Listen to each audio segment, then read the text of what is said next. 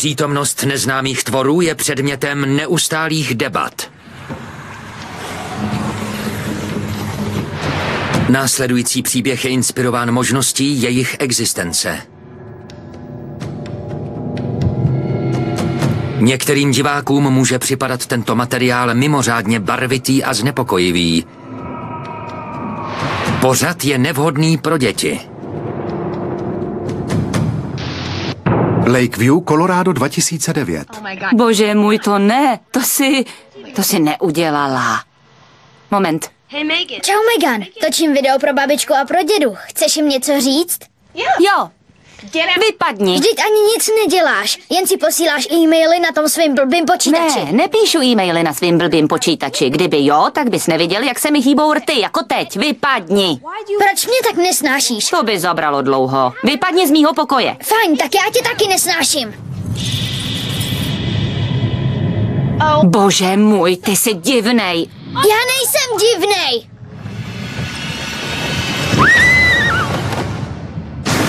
Existují tvorové, které věda odmítá uznat. Tam dole něco je.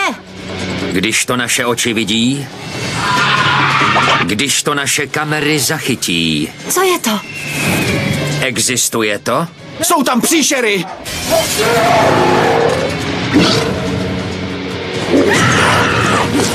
Věříte?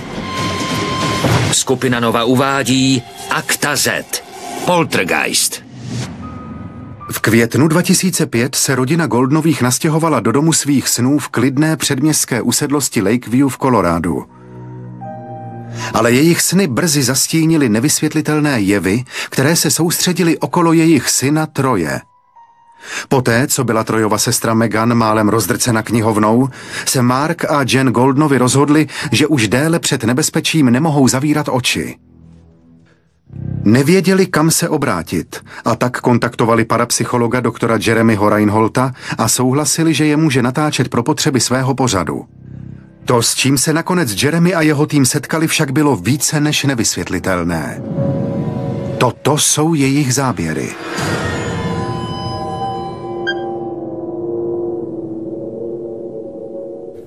Lakeview v Coloradu.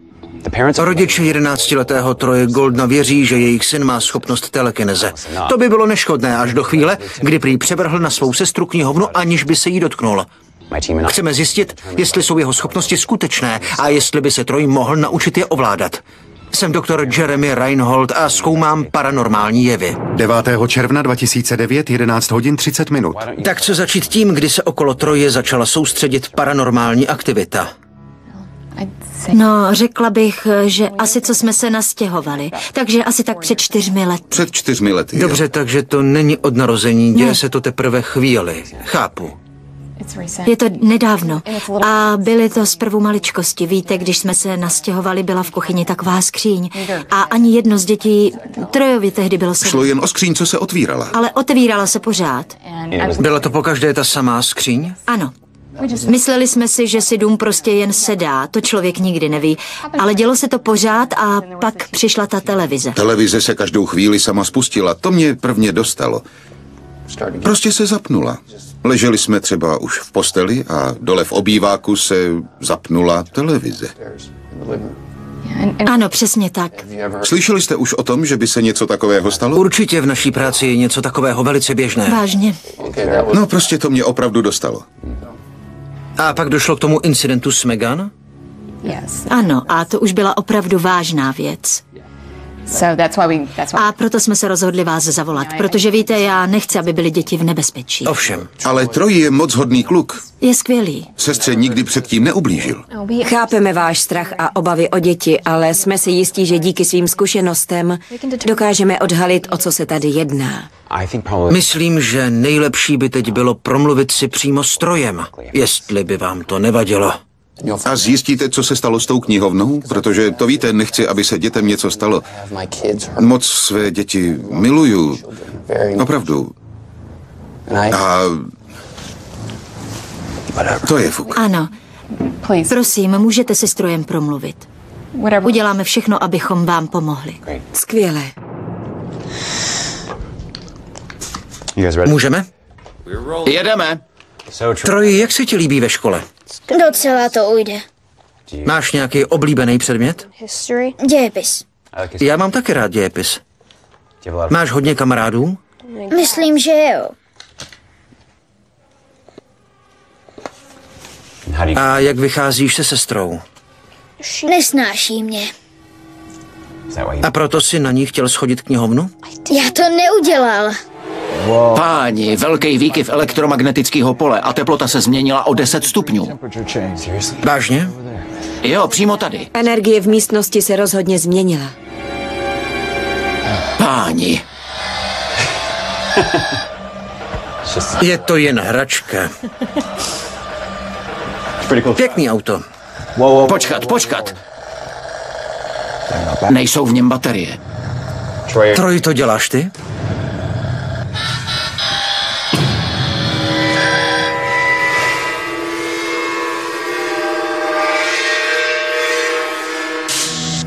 Termín poltergeist znamená v Němčině hlučný duch.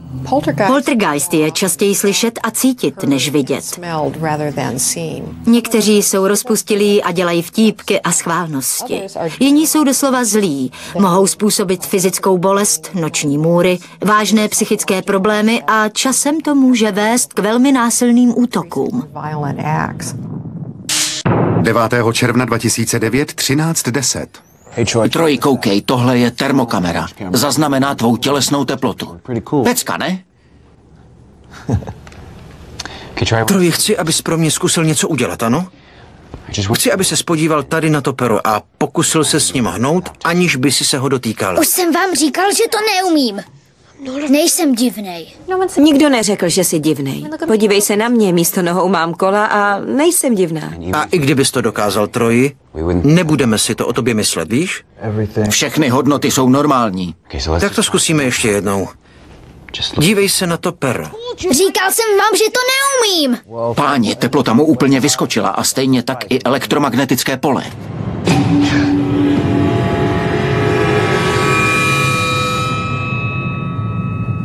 Troji, jak jsi to udělal? Já nevím, když se naštvu, dějou se divné věci.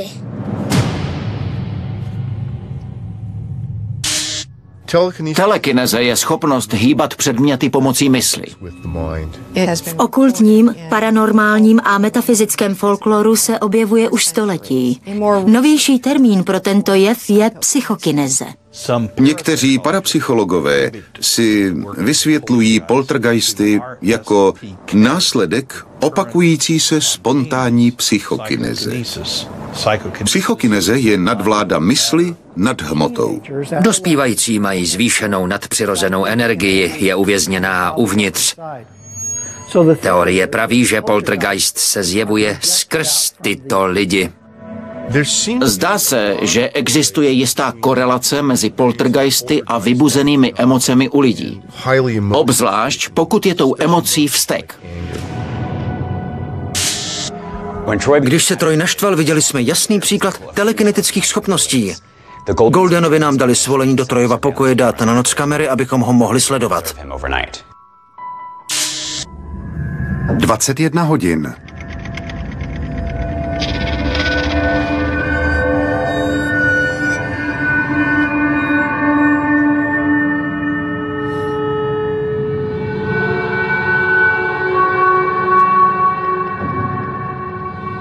Tři hodiny pět minut po půlnoci.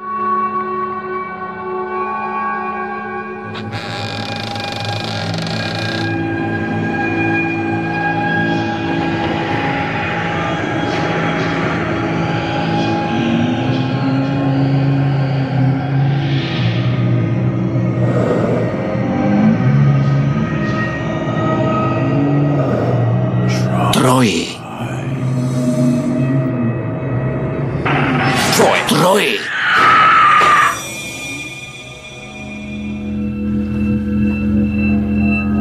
Co to? Bože,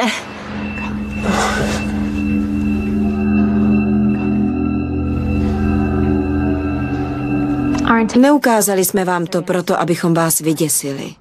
V jeho posteli byl nůž. To není. Ani doma podobný nůž nemáme. Vůbec nechápu, jak je to možné. Proč se to mému synovi děje? V tuhle chvíli víme, že ať už to způsobuje cokoliv, je to velmi agresivní a nějak spojené s emocemi vašeho syna. Chtěli bychom to zkusit bez stroje a zkusit tak přesně zjistit, co to způsobuje. Ano, Zmiňovali jste, že jste Megan poslali k rodině. Myslíme, že by bylo dobré, kdybyste tam dnes v noci strojem přespali taky. dobře. Jo, jistě. Dobře. Je ještě něco, co bychom o tom domě měli vědět? Je postaven na historickém místě? Nebo třeba jestli v něm zemřel minulý majitel? Netuším. Jestli ano, tak nám to nikdo nikdy neřekl. Ne, nikdo nic neříkal. Ne, nevíme o ničem. Dobře, chtěli bychom začít hned, jak to bude možné. Tak kdybyste si prosím zbalili. Jo, Jo.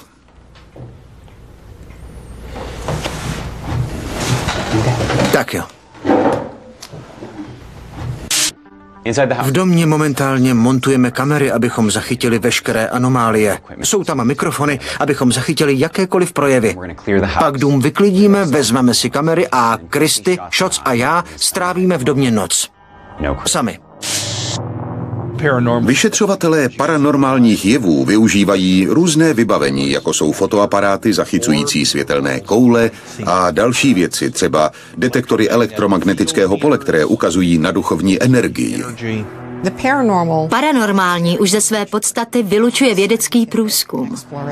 Tyto fenomény nelze podrobit kontrolovaným testům. Jsou spontánní, vrtošivé a vysoce subjektivní. Jedna z nejděsivějších věcí na poltergeistech je nepředvídatelnost. Nikdy ani nevíte, že na nás útočí. Nevíte, kdy k jejich útoku dojde nebo jak bude probíhat, ani jak se proti ním chránit. Against them. 11. června 2009, 30 minut po půlnoci. Takže připraveni? Jo, Jo. Dobře, já a Shots prohledáme zbytek domu. Kristy, chci, abys byla dole a poslouchala, jestli něco uslyšíš. V pohodě? Jistě. Dobře. Když se něco šustne, ozvěte se. Tak, jdeme na to. Dobře. dobře.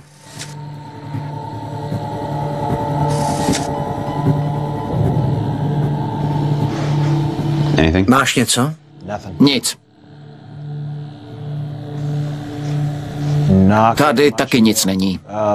0,0. To je všechno. Kristy, půjdeme nahoru. V pořádku, já zkusím, jestli něco zaslechnu na nižších frekvencích.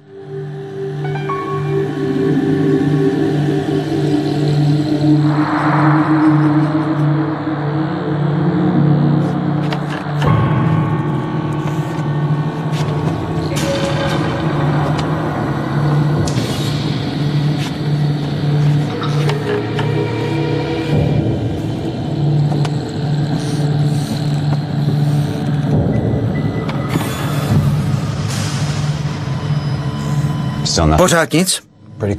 Klid.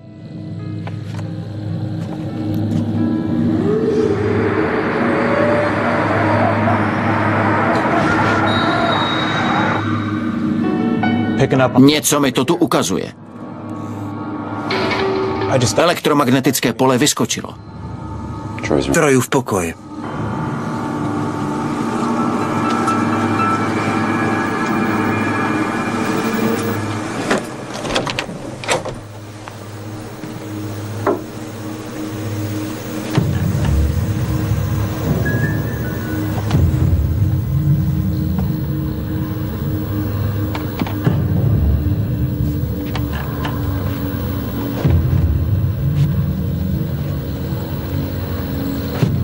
Tady u skříně je to silnější.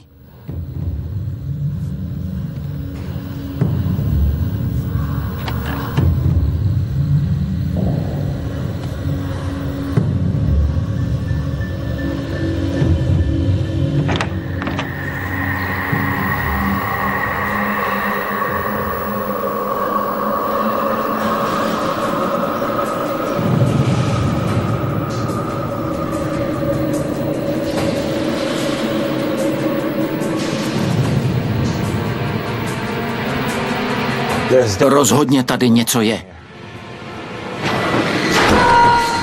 Šoci! Akta Z. Odhalení. Je možné, že aktivity poltergeistů lidé zaměňují za posedlost démony. Sledujte bizarní příběh 13-letého chlapce, kterého prý posedl ďábel. Ale opravdu? V roce 1949 přinesly noviny děsivé zprávy o 13-letém chlapci s podivnými symptomy, levitace, protáčení hlavy jako u hadů a šrámy na těle, které tvořily slova. Byl povolán kněz, aby provedl vymítání a tento nechvalně proslulý případ nakonec inspiroval jeden z nejlepších hororových filmů všech dob Vymítač ďábla. Ale výzkumníci, kteří později případ prošetřovali, dospěli k závěru, že všechny symptomy daleko spíše odpovídaly jevu jménem poltergeist. Rozhodně tady něco je.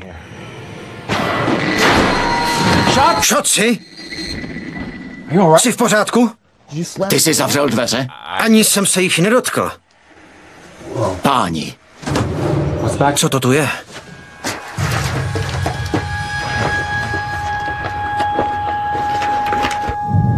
Co to sakra je?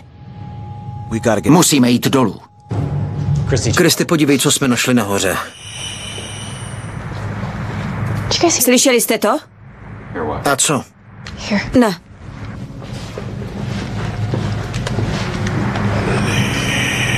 Zmizte.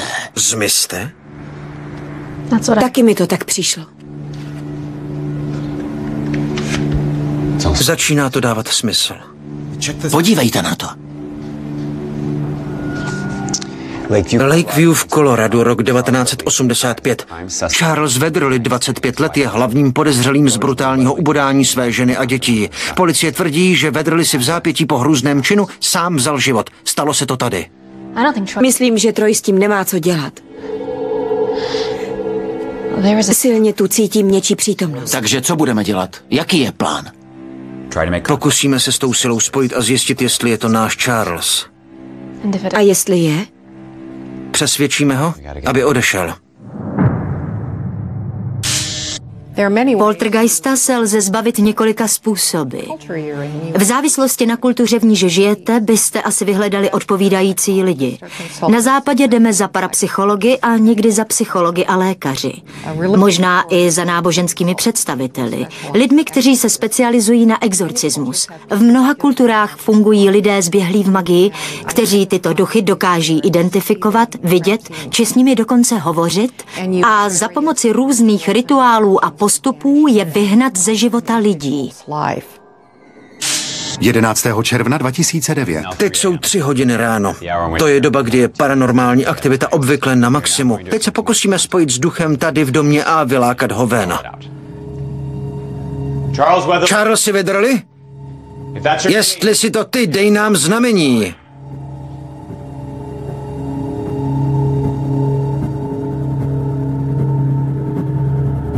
No tak, Charlesy, předveď se.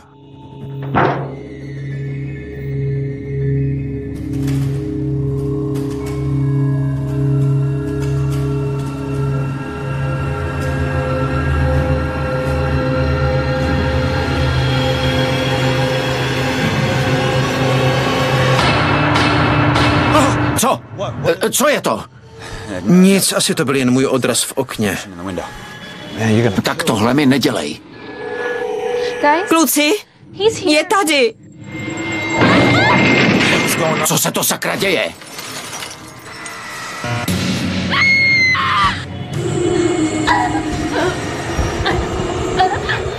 Nech jí být, Charlesy. Dost, dost už. Tohle je šílený, Jeremy. Musíme odsud vypadnout. Ne, nikam nejdeme. Tohle je souboj vůle. Jsme to my proti němu. Kristy, Kristy, slyšíš mě? Zmizte.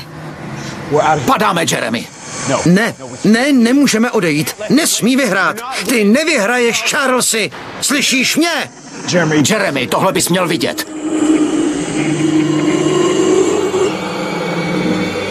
Už je pozdě. Bože. Kde mám inhalátor?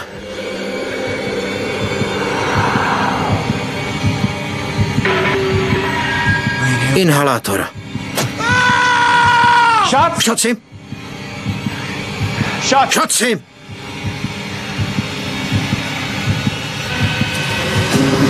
Šoci!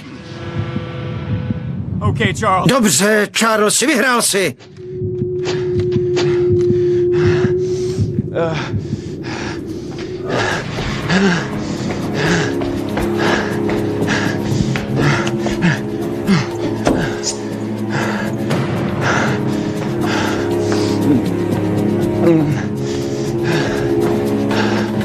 Jeremy, Troji? pomoz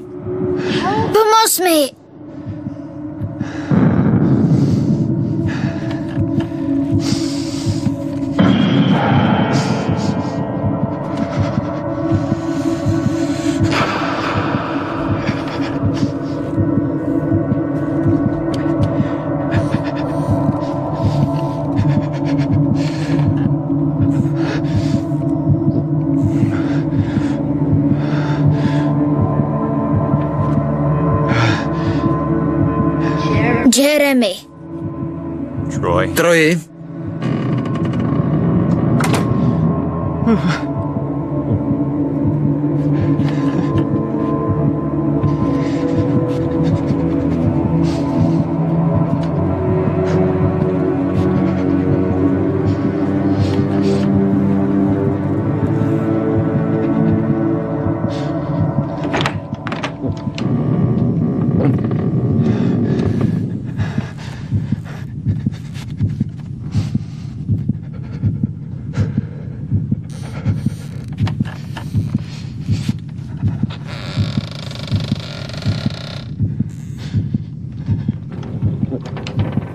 Troji?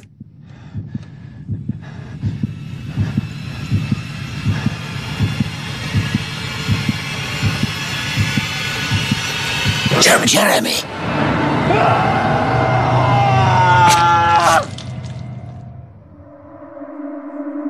Smrt Kristy Jonesové byla Coopera a Jeremy Reinholta byla připsána na vrub infarktu. Tato epizoda jejich pořadu se nikdy nevysílala. Krátce po událostech z 11. července 2009 Goldenovi svůj dům prodali. Kolorádské zákony je nenutili říci kupujícím, co se v domě dělo. Přes dvě miliardy lidí věří na existenci duchů a poltergeistů. Ale jsou tyto bytosti uvězněné v neviditelném záhrobí? A nebo žijí mezi námi?